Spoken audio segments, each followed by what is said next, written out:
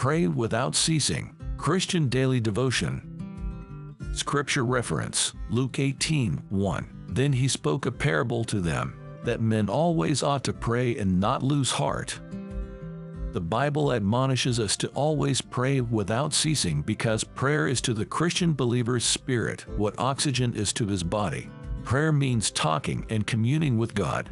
Praying without ceasing simply means being in constant communion and communication with Him. Praying without ceasing does not mean being on your knees around the clock praying.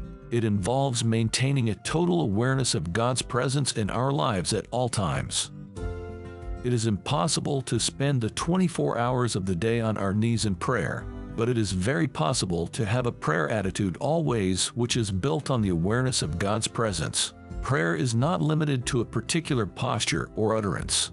The essence of prayer is an awareness of God's presence, and our response should be constant communion and total dependence on Him. As a result of this, prayer becomes our first response towards every situation, both good and bad.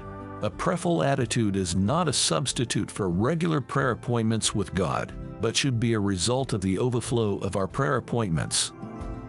The Lord Jesus Christ, our model, lived the exemplary life of prayer.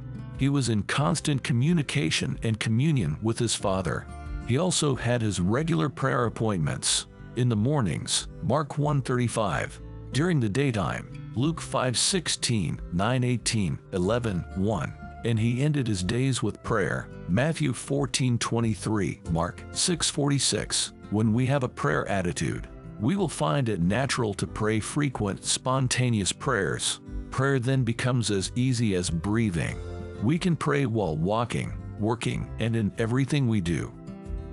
Prayer. Heavenly Father, please give us a strong awareness of your presence that will keep us walking and talking with you every minute and second of our lives in Jesus' mighty name. Amen.